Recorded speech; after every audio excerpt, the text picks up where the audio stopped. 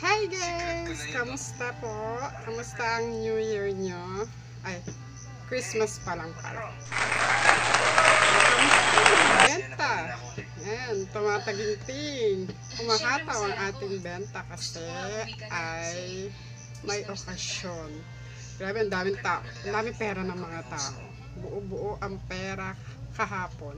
Ngayon ay December 26, 2020. Time check tayo ay 12.30 na. Tapos na kami kumain. At yung anak ko ay napatulog na. Kaya may time na akong mag-vlog. Anyways, mga nakarang araw ay wala akong ma-upload. Paano kasi? Nag-edit ako.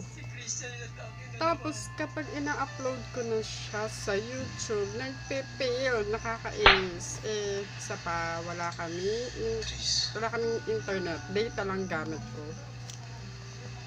At, ayun, wala. Gusto, gusto ko lang kasi talagang mag-vlog, kaya pinupursige ko siya. Kahit wala akong internet at data lang gamit ko. Anyways, ngayon ay dumating yung order ko sa um, Lazada. Regalo ko to sa sarili ko eh. At hulaan ko. Daran! Mahal na mahal pa rin kita. Microphone stand. Sa tingin mo, mapapaiwan ako dito kung sa'yo microphone stand. From Lazada. Lazada. Inopen ko na siya kasi na-excite ako. Ko na siya. Gamit ko na ngayon. Ang ganda niya. Ano lang, bali 65. Tapos, ang mahal nga ng shipping 50. Bali 110 lahat. Pero sulit naman, maganda siya. Kasi dati wala akong ginagamit. Wala akong, ano, tayo-tayo lang. Naka-sandal lang siya. Tapos, ganito siya, o, oh, ganun. Yan. Baliktad. Ayan, ang ganda niya.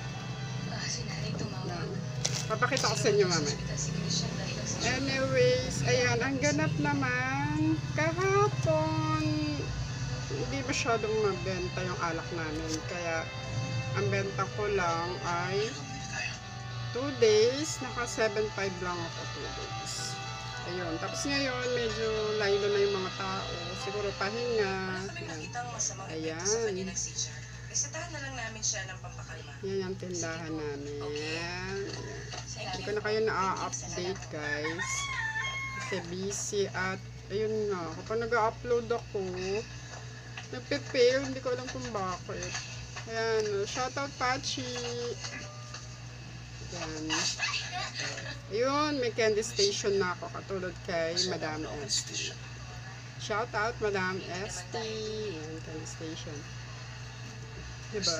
Grabe Haggard. Tapos, ayun, pahinga lang ngayon. December 26 pahinga. Bukas, ako mamimili. Kasi para napagod ako kahapon. Ayan. Yung, yung, yung pag-giveaway ko, yan na lang tira. May natira pa. May naantay pa kasi ako mga um, hindi pa napuntang mga suki. Siguro wala sila kahapon.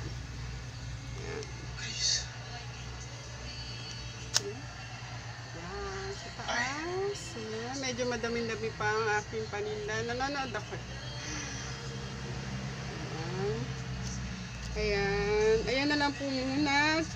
I-update ko na lang ulit kayo kapag nakapamili na ako. Salamat po. Merry Christmas sa inyong lahat. This is JSY Vlog. Merry Oo. Christmas! Ka na. Alam ko pagod ka din. One eternity later.